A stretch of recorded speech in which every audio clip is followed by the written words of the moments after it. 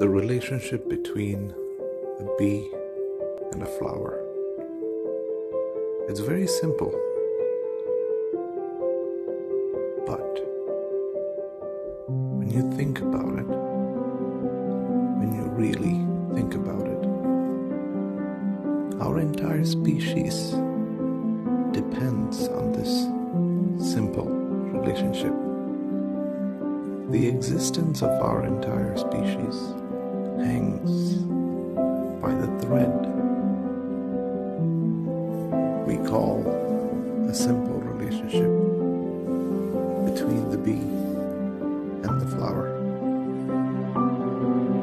It really makes you think.